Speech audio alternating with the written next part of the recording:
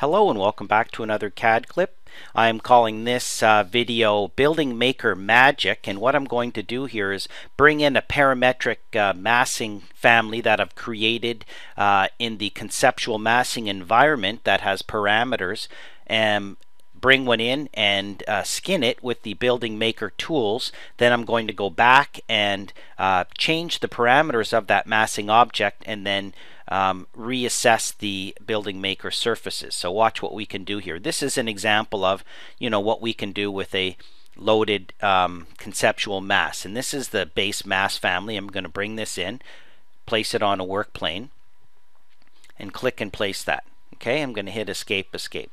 Now when I click on this massing object, I've got predetermined parameters set up inside of here, which is, you know, the tower section, the base building. So the width and height and depth and width and height and, and dimensions of this particular massing object, which I can change. But I'm going to leave it with the default sizes to start with. I'm going to start by using my Building Maker tools by going to Massing and Site here in the project and say Model by Face, and I'll just say Roof and then I can go in here and pick whatever roof type I want and just pick on here, pick on here and say create the roof.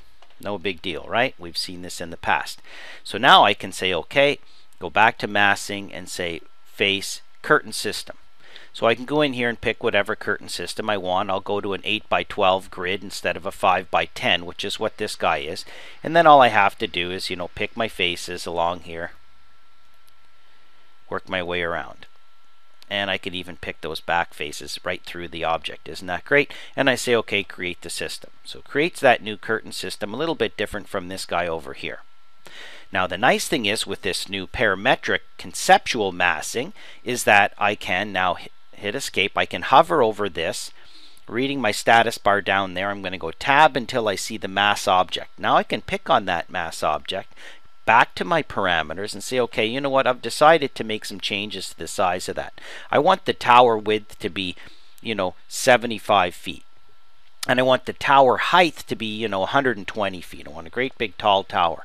And the depth of the tower I only want to be, you know, 50 feet. So rectangular and taller. Then the base building width, I'm going to make it a lot bigger and say I want it to be, you know, 180 feet. And the height of the base building, I only want it to be, you know, 50 feet. So completely different shape. I hit OK, and my massing object updates just like that. Okay, so now what I have to do, you can see that now my building maker um, surfaces are no longer synchronized with my massing object. But what I can do now is I can hover over this roof, it picks both of them, and I can simply say update to face, and Shazam, it updates. Now I can hover over these um, surfaces that I created here, the curtain systems, and you might have to use your tab key to grab them. And I can say update to face and update to face just like that. So this massing object doesn't have a whole lot of detail in here, but think of it, you can also cut this up into floor systems and everything else and start to create schedules and takeoffs and sit there and play with your design and on the side have your schedule with all of your data all updating as well as all of the um, surface materials just like that.